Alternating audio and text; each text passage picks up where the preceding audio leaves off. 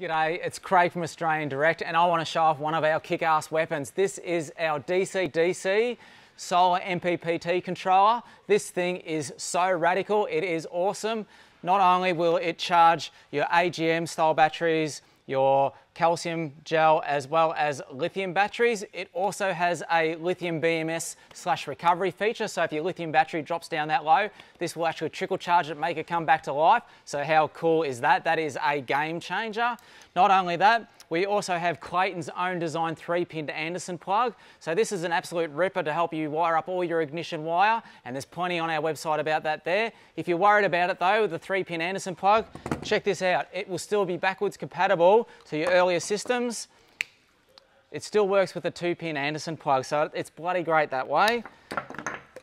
A little temperature probe to keep an idea on your battery temperature as well. We've thought of everything. Head over to our website, check them out. Cheers.